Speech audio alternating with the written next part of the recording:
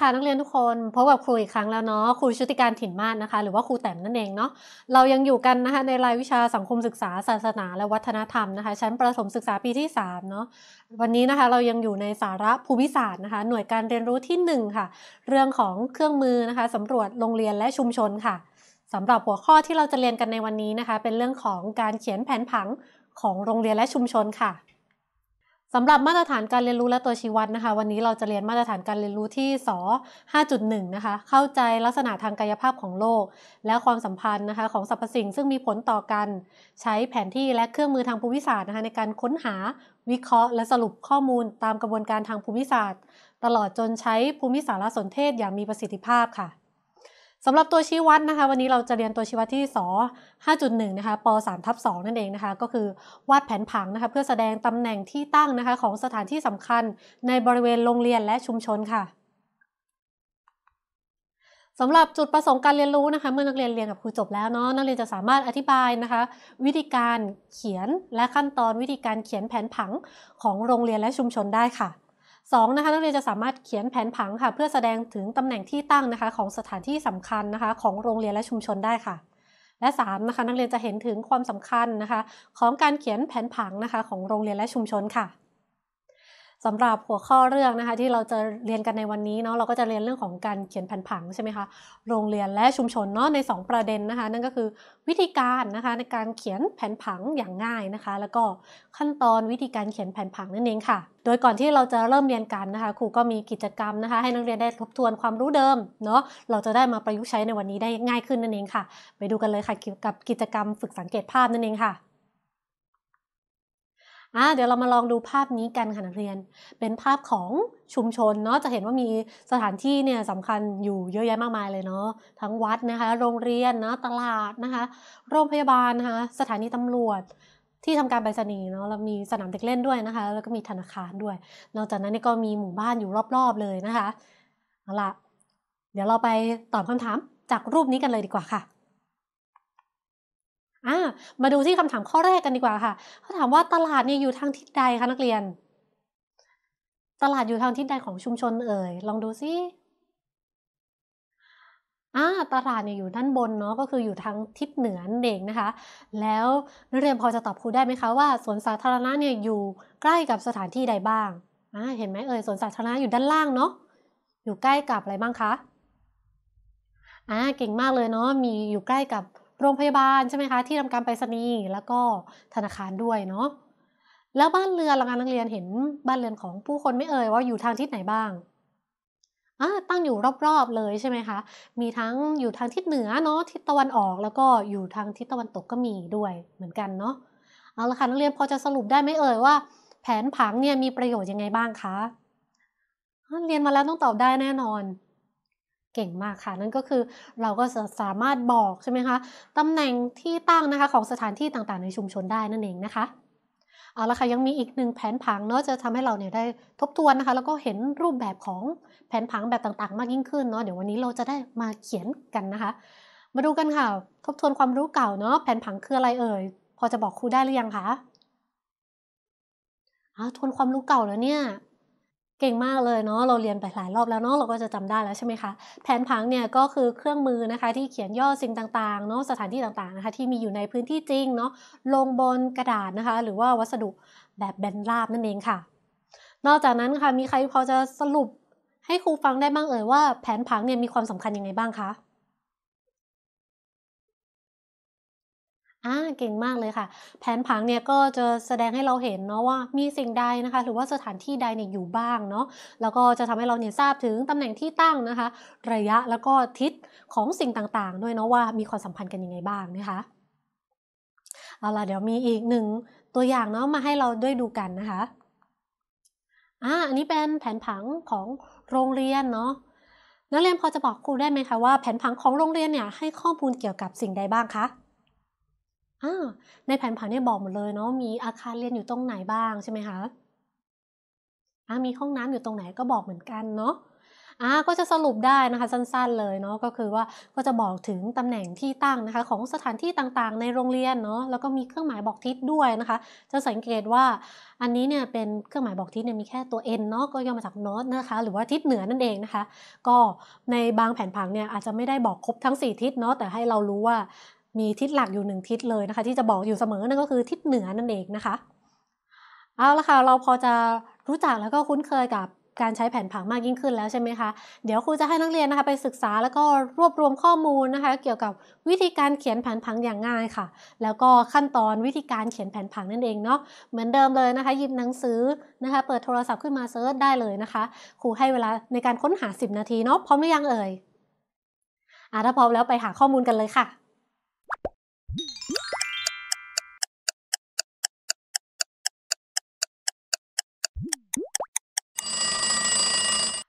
เอาละค่ะนักเรียนเป็นไงบ้างเอ่ยได้วิธีการขั้นตอนในการเขียนแผนผังหรือยังคะใครได้แล้วยกมือหน่อยสิอ่าโอเคค่ะ เดี๋ยวเรามาสรุปกันดีกว่านะคะว่า ถ้านักเรียนต้องการเขียนแผนผังเนี่ยควรปฏิบัติอย่างไรบ้างอ่าหนึ่งเลยต้องทำยังไงเอ่ยก่อนที่เราจะเขียนแผนผังได้ เก่งมากค่ะแล้วก็ต้องรู้ก่อนใช่ไหมว่าสิ่งที่เราต้องการเขียนเนี่ยมีอะไรบ้างนะคะ แล้วก็รู้ตำแหน่งระยะแล้วก็ทิศ ของสิ่งที่เราจะเขียนเนี่ยได้อย่างครบถ้วนและถูกต้องนั่นเองค่ะ อันนี้เป็นขั้นแรกเลยเนาะคราวนี้ค่ะเรามาดูกันดีกว่าค่ะว่าวิธีการเขียนแผนผังอย่างง่ายเนี่ยมีอะไรบ้าง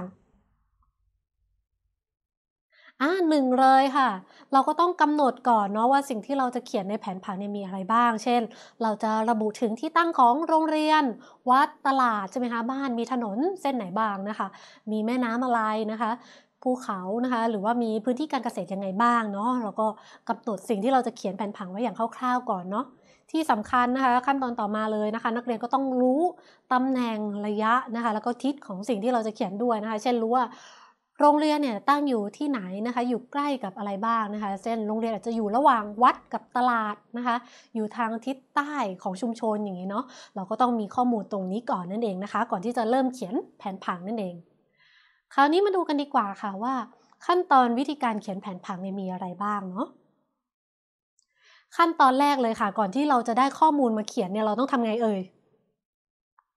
อ่าเก่งมากเลยเราก็ต้องออกไปสำรวจพื้นที่จริงก่อนใช่ไหมคะ ให้ทั่วเนาะว่ามีสถานที่อะไรบ้างเนาะอยู่ในชุมชนของเรานะคะ หรือว่าอยู่ในโรงเรียนของเรานะคะ โดยนักเรียนอาจจะจดชื่อสถานที่นั้นมาด้วยนะคะ เราจะได้ระบุ ข้อมูลได้อย่างชัดเจนมากยิ่งขึ้นเนาะจากนั้นเนี่ยก็ให้นักเรียนลองเขียนเขาโครงแบบคร่าวๆดูก่อนนะคะ เราก็จะได้เห็นแผนผังของเราได้ที่จะเริ่มชัดเจนมากยิ่งขึ้นนั่นเองนะคะ ต่อไปค่ะขั้นตอนที่ 2 ค่ะ เมื่อเราออกสำรวจเสร็จแล้วค่ะ ขั้นตอนต่อมาเลยค่ะนั่นก็คือการนำข้อมูลที่เราได้เนาะรายละเอียดทั้งหมดนะคะที่เราได้จากการสำรวจเนี่ยมาเขียนลงในแผนผังเนาะโดยเราอาจจะใช้สัญลักษณ์เนี่ยเข้ามาช่วยนะคะ ให้แผนผังของเราเนี่ยดูง่ายมากยิ่งขึ้นเนาะเช่นอาจจะมีสัญลักษณ์นะคะแทนโรงเรียนนะคะ บ้านเรือนนะคะ หรือว่าสัญลักษณ์แทนโรงพยาบาลนั่นเองนะคะ ก็จะทำให้แผนผังของเราเนี่ยดูง่ายมากยิ่งขึ้นนั่นเองเนาะต่อไปค่ะเมื่อเราเอาข้อมูลนั้นมาเขียนแล้วนะคะ ขั้นตอนต่อไปค่ะ นั่นก็คือตรวจเช็คอีกครั้งค่ะ ก็คือการนำเอาแผนผังของเราเนี่ยที่ได้เนี่ยไปตรวจความถูกต้องอีกครั้งหนึ่งนะคะ ในพื้นที่จริงเนาะเพื่อที่จะตรวจสอบความถูกต้องแล้วก็ความแม่นยำนะคะ ดูเรื่องของตำแหน่งระยะนะคะ ที่ตั้งของสถานที่ต่างๆเนาะว่าถูกต้องตามที่เราเขียนไว้หรือเปล่านะคะเอาละค่ะเมื่อกี้เราได้เรียนกันไปถึงเรื่องของขั้นตอนการเขียนแผนผังแล้วใช่ไหมคะเดี๋ยวเรามาทำกิจกรรมกันดีกว่าค่ะ เพื่อที่จะสรุปขั้นตอนเนาะนักเรียนจะได้ไม่สับสนนะคะ มาดูกิจกรรมกันเลยดีกว่าค่ะ อ่าในนี้เนี่ยมีอยู่ 3 ประโยคเนาะประโยคที่1นนะคะเขาบอกว่าสำรวจพื้นที่ที่ต้องการเขียนแผนผังนะคะ ประโยคที่2ค่ะเขาบอกว่านำแผนผังเนี่ยไปตรวจสอบความถูกต้องในพื้นที่จริงอีกครั้งนะคะ แล้วก็ประโยคที่3เนี่ยเขาบอกว่านำข้อมูลที่ได้จากการสำรวจมาจัดทำนะคะ โดยใช้สัญลักษณ์ประกอบค่ะอ่ามีอยู่ 3 ข้อความนี้ค่ะนักเรียนคิดว่าข้อความที่เท่าไหร่นะคะเป็นขั้นตอนแรกคะของการทำแผนผังค่ะ อ่า เก่งมากเลยเนาะ ก็คือข้อความที่ 1 นั่นเองใช่ไหมคะ นั่นก็คือสำรวจพื้นที่จริงก่อนเนาะ ก่อนที่เราจะเขียนแผนผังนั่นเองค่ะ ต่อไปค่ะ ขั้นตอนที่ 2 ค่ะ ไหนเอ่ย ประโยคที่เท่าไหร่คะ อ่า เก่งมากเลยเนาะ เป็นประโยคที่ 3 เนาะ ขั้นตอนที่ 2 เนี่ยก็คือ การนำเอาข้อมูลเนี่ยที่ได้จากการสำรวจมาจัดทำเป็นแผนผังนะคะ โดยเราอาจจะใช้สัญลักษณ์เนี่ยเข้ามาช่วยประกอบด้วยนั่นเองเนาะ และขั้นตอนสุดท้ายค่ะขั้นตอนที่3เนาะนั่นก็คือการนำแผนผังที่เราเขียนเสร็จเรียบร้อยแล้วเนี่ยไปตรวจสอบความถูกต้องอีกครั้งนั่นเองค่ะเอาล่ะพอเรารู้ขั้นตอนการเขียนแผนผังแล้วเนาะเดี๋ยวเราจะมีกิจกรรมนะคะมาช่วยให้นักเรียนได้ซ้อมมือนะคะ ในการฝึกการวาดแผนผังอีกครั้งค่ะกิจกรรมวาดผังชุมชนนะคะ เดี๋ยวครูจะมีข้อความให้เนาะแล้วเดี๋ยวนักเรียนเนี่ยลองฝึกวาดนะคะ บอกตำแหน่งของข้อความนี้นะใน นผังอีกครั้งหนึ่งเนาะมาดูกันค่ะเขาบอกว่าวัดเนี่ยได้ข้อมูลมาเนาะว่าวัดที่อยู่ตรงกลางของชุมชนค่ะนักเรียนเราก็ทำไงดีเอ่ยอ่าเราก็วาดง่าย ๆ เลยเนาะขั้นแรกเนี่ยเราเอาแบบง่าย ๆก่อนนะคะ เราอาจจะวาดเป็นสี่เหลี่ยมก็ได้เนาะแล้วก็เขียนระบุชื่อของสถานที่นั้นๆนะคะ ก็บอกเลยนะว่าวัดเนี่ยอยู่ตรงกลางของชุมชนนะคะ ลงไปในแผนผังเลย ต่อไปค่ะ ประโยชน์ที่2ค่ะข้อมูลที่2เขาบอกว่า สนามกีฬาค่ะอยู่ทางทิศใต้ของวัดค่ะ อ่าเริ่มมีทิศมาช่วยแล้วค่ะ อันนี้เราก็วาดได้เลยใช่ไหมคะ ก็ระบุไปเลยเนาะสนามกีฬาเนี่ยอยู่ทางด้านใต้เนาะทิศใต้ของวัดนั่นเองนะคะอ่าถูกต้องเลยเนาะตามภาพนี้เลยนะคะ ต่อไปค่ะ มีข้อมูลมาค่ะเขาบอกว่าโรงเรียนเนี่ยอยู่ทางทิศตะวันออกของสนามกีฬาค่ะ อันนี้นักเรียนจะวาดไปพร้อม ๆ ครูได้เลยเนาะอ่าอยู่ทางทิศตะวันออกค่ะจำได้ไหมเอ่ยทิศตะวันออกอยู่ทางไหน อ่าโอเคเราก็ระบุได้เลยนะว่าโรงเรียนเนี่ยอยู่ตรงไหนนะคะ นอกจากนั้นค่ะได้ข้อมูลมาอีกค่ะว่า สถานีรถไฟเนี่ยอยู่ติดกับวัดนะคะ แล้วก็อยู่ทางทิศเหนือของตลาดค่ะอ่าคราวนี้เนี่ยบอกสถานที่ชัดเจนเลยเนาะเราก็สามารถระบุนะคะที่ตั้งของสถานีรถไฟได้แล้วนะคะอ่าอันสุดท้ายค่ะได้ข้อมูลมานะคะว่าสถานีตำรวจเนี่ยอยู่ทางทิศเหนือของโรงเรียนค่ะอ่าเราก็ แทรกเข้าไปในแผนผังของเราได้เลยเนาะว่าสถานีตำรวจเนี่ยอยู่ตรงไหนนะคะ เห็นไหมล่ะคะเราก็เอาเรื่องที่เราเรียนมานะคะในเรื่องของทั้งตำแหน่งนะคะ ที่ตั้งแล้วก็ระยะทิศต่างๆเนี่ยมาช่วยนะคะในการวาดแผนผังของชุมชนของเรานั่นเองเนาะก็เป็นเรื่องง่าย ๆนะคะ เป็นตัวอย่างแผนผังเนาะที่นักเรียนสามารถทำกันได้ทุกคนเลยเนาะ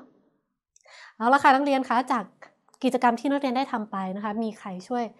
ตอบครูได้บ้างไหมคะว่า การวางแผนค่ะ ก่อนการเขียนแผนผังเนี่ยมีประโยชน์ยังไงบ้างคะอ่าถูกต้องเลยค่ะ ประโยชน์นะคะของการวางแผนนะคะ ก่อนเขียนแผนผังเนาะอย่างแรกเลยนะคะ นั่นก็คือนักเรียนจะสามารถนำเสนอข้อมูลของสถานที่ต่างๆเนี่ยได้อย่างถูกต้องนะคะ นอกจากนั้นเนี่ยก็ยังสามารถที่จะบอกตำแหน่งนะคะ ระยะ และทิศของสิ่งต่างๆ ที่มีความสัมพันธ์กันเนี่ยได้อย่างถูกต้องและครบถ้วนด้วยนั่นเองค่ะเอาละค่ะครูก็มีคำถามนะคะชวนคิดนะคะ ให้นักเรียนลองจุดประเด็นกันดูเนาะคำถามค่ะเขาถามว่าการเขียนแผนผังของโรงเรียนและชุมชนอย่างง่ายค่ะ มีความสำคัญยังไงบ้างคะการเขียนแผนผังและ ของชุมชนและโรงเรียนเนาะก็จะทำให้เราเนี่ยทราบตำแหน่งนะคะของสถานที่ต่างๆเนาะในโรงเรียนแล้วก็ชุมชนเราใช่ไหมคะอย่างในตัวอย่างภาพเนี่ยก็จะเห็นได้อย่างชัดเจนเลยเนาะว่าโรงเรียนของเราเนี่ยมีอาคารเรียนอะไรตั้งอยู่ตรงไหนบ้างนั่นเองนะคะ เอาละค่ะนอกจากนี้เนี่ยครูยังมีกิจกรรมนะคะชวนให้นักเรียนไปทำกันด้วยเนาะนั่นก็คือให้นักเรียนเนี่ยช่วยกันนะคะลองสำรวจนะคะสถานที่สำคัญนะในโรงเรียนนะคะหรือชุมชนของตัวเองก็ได้เนาะแล้วนำข้อมูลที่ได้ค่ะ มาฝึกนะคะเขียนเป็นแผนผังนะคะ พร้อมกับอธิบายความสัมพันธ์ของตำแหน่งระยะ และทิศทางของสถานที่ต่างๆ จากแผนผังของเรานั่นเองค่ะครูก็มีตัวอย่างเนาะการทำแผนผังเนี่ยมาให้นักเรียนช่วยกันดูอีกแล้วนะคะ อ่าอย่างอันนี้เนาะเป็นแผนผังของโรงเรียนที่ครูวาดขึ้นมานะคะ ก็จะสามารถอธิบายความสัมพันธ์ของตำแหน่งระยะแล้วก็ทิศทางของสิ่งต่างๆ ที่อยู่ในโรงเรียนเราได้เนาะเช่นอาจจะบอกว่าสนามหน้าเสาธงเนี่ยอยู่ระหว่างอาคารหอประชุมนะคะกับสนามกีฬานะคะ หรืออาจจะบอกตำแหน่งสั้นๆได้ว่าห้องน้ำเนี่ยอยู่ทางทิศเหนือนะคะของอาคารเรียนหนึ่งแล้วก็อาคารเรียนสองนั่นเองเนาะหรืออาจจะบอกว่า โรงอาหารนะคะอยู่ทางทิศใต้นะคะของอาคารเรียน 2 อย่างนี้นะคะ ก็จะสามารถบอกได้เนาะแล้วแต่นะคะนักเรียนอยากจะหยิบยกตำแหน่งตรงไหนนะคะมาอธิบายนะคะนี่ก็เป็นตัวอย่างสั้นๆเนาะเอาละค่ะนักเรียนวันนี้ค่ะ เราก็ได้เรียนเรื่องการเขียนแผนผังไปแล้วเนาะนักเรียนสามารถสรุปความรู้ค่ะที่ได้จากการเรียนวันนี้ได้ว่ายังไงบ้างคะ